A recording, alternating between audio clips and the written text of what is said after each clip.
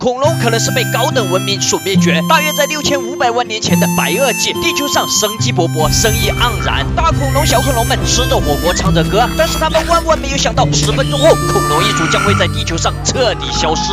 没有错，来自赛博坦的外星人驾驶着战舰来到了地球，他们此行的目的只有一个：掠夺地球的资源。此时，地球上的恐龙一脸懵逼，哟，这天上的东西都是些什么玩意儿？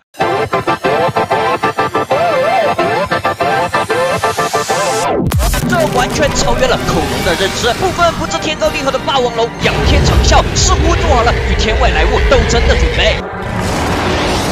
因为霸王龙在蓝星上面还没有打过败仗。此时，外星人按下按钮，从飞船上面释放出某种先进的武器。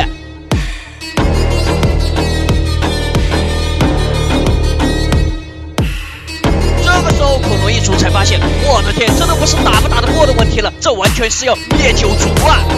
听我说，谢谢你，因为有你，温暖了四季。